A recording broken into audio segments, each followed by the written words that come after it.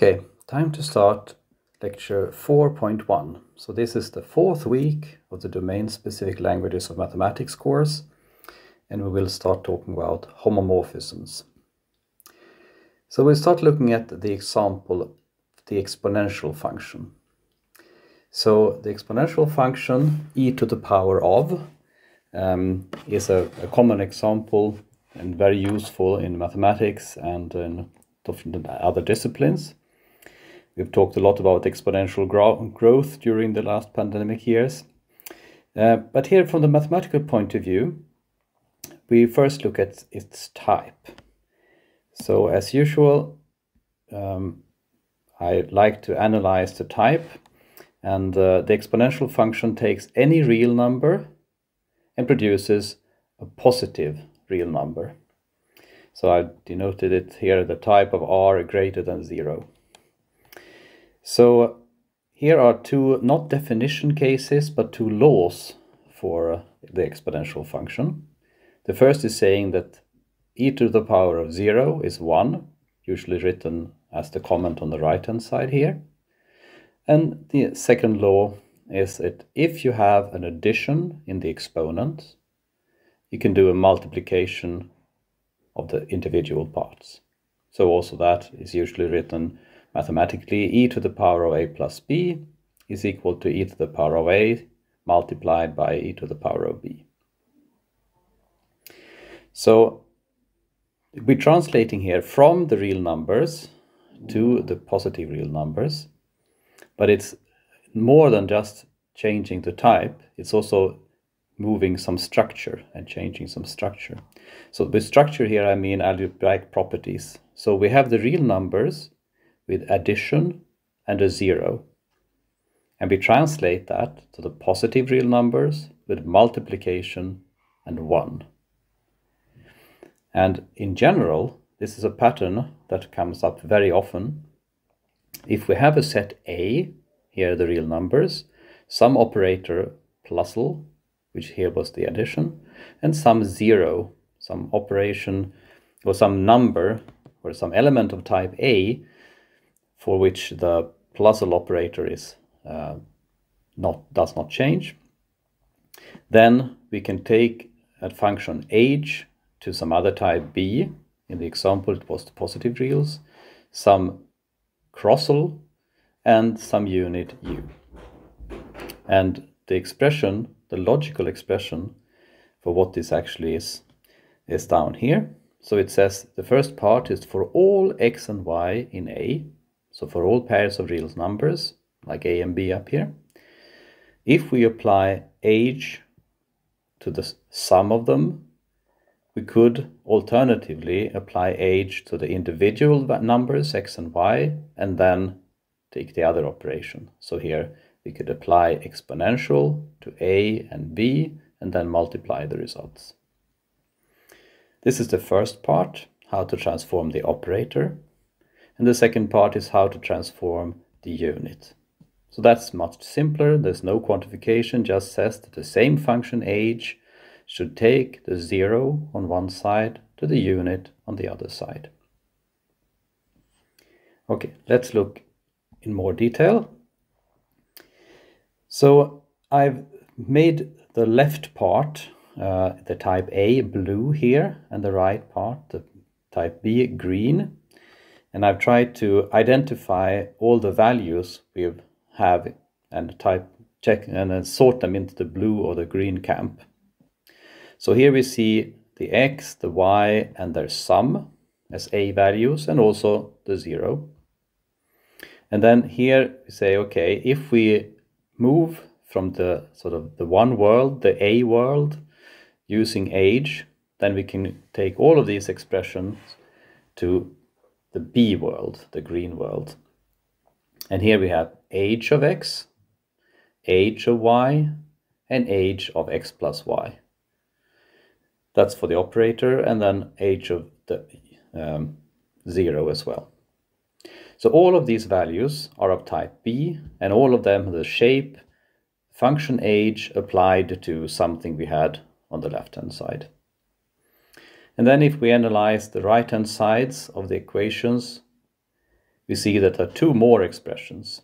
So there is the application of the Crossel operator to hx and hy.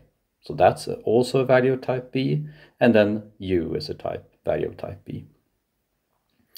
So we use the h function to translate these input values, and then we say that actually another way of getting to those same values is using some new operators that live in the B world.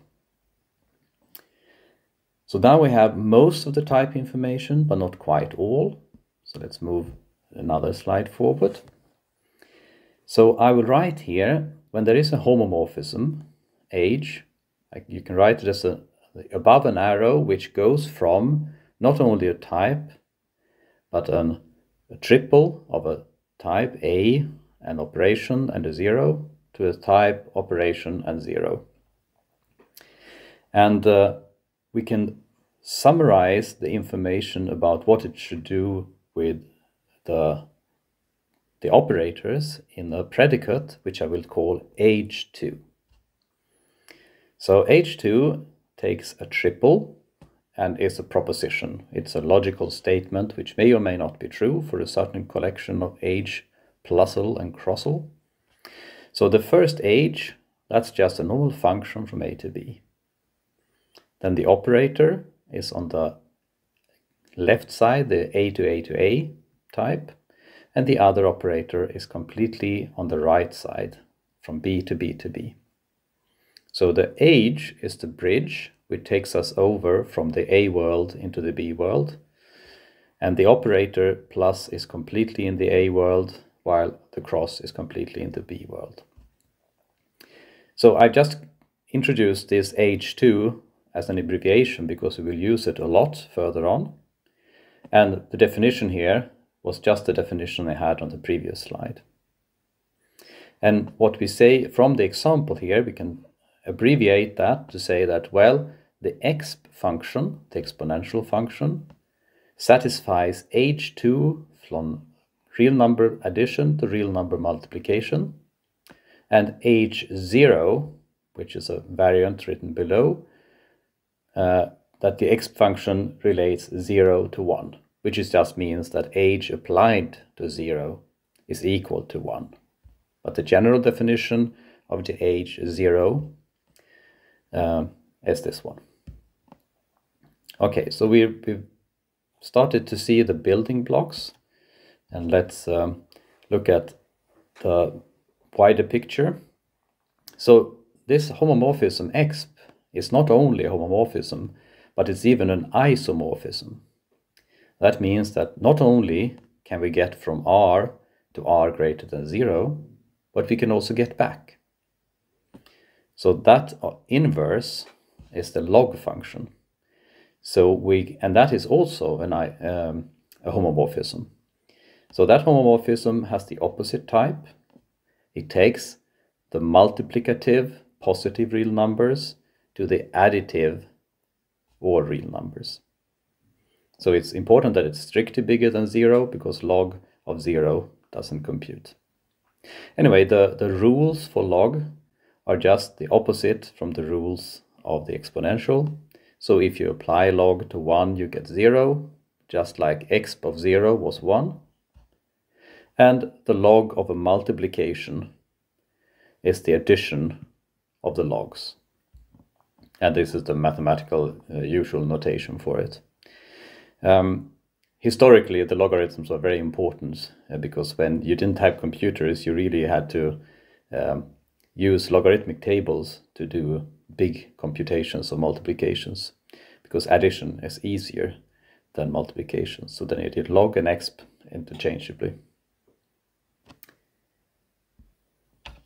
Okay, now, if we abstract out from the particular example of the exponent and the logarithm, let's look at the three uh, predicates, propositions, h2, h1, and h0.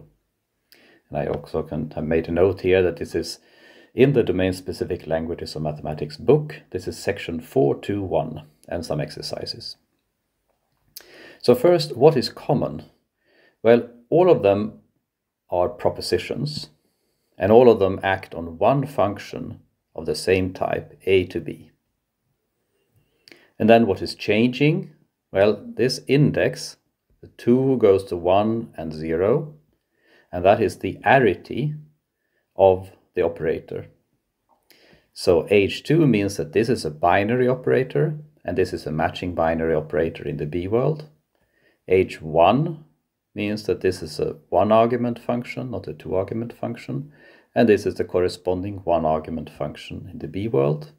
And finally, for 0, it's not even a function anymore, it's just a value of type A and a value of type B. And the quantification then matches the arity. So here is quantification of the 2, 1, and 0 elements. And we can line them up a little to see the pattern here. I also renamed the plus with a ring and the cross with a ring to op A and op B to see even more of the pattern here. So the, these three predicates all relate an operation in the A world to an operation in the B, B world.